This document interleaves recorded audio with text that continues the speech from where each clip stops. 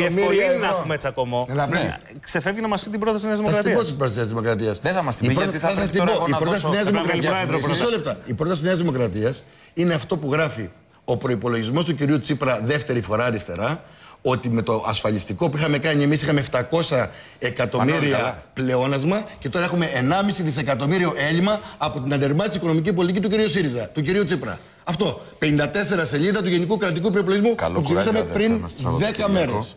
Σαββατοκύριακο. Καλό κουράγιο. Και αυτό το στυλό, επειδή λέτε, Καλό. που είναι ευλογημένο στυλό από τη, από τη γιαγιά της γυναίκας Ο μου, με αυτό Ξαδίμος έβαλα έλεγε. υπογραφές Ναι. στο Υπουργείο Ναυτιλίας. 100 εκατομμύρια ευρώ Να πω, έπαιρνε. έπαιρνε εγώ δεν έπαιρνε ποινικοποιώ η- τα Mont Blanc. Έπαιρνε Να η με Ελλάδα. συγχωρείς πολύ. Έπαιρνε η Ελλάδα. Ο πρώτη φορά αριστερά τέτοιο, τέτοιο χρησιμοποιεί. 100 εκατομμύρια ευρώ Και μάλιστα έπαιρνε, όταν το πήρε ήδη στο κρύψε. έπαιρνε η ξέρεις Ελλάδα από τον ΟΛΠ εγγυημένα από την Κόσκο. Σήμερα πάνε να πουλήσουν την Κόσκο στο χρηματιστήριο για 200 εκατομμύρια. Αυτή είναι η πρώτη φορά αριστερά. Τέλος, πρώτη φορά τα ακούω. Έτσι. Αυτό. Θα το δώσω λοιπόν το συλλόγο Είναι να και βάλει δια- είναι και τις ίδιες- Por, para, para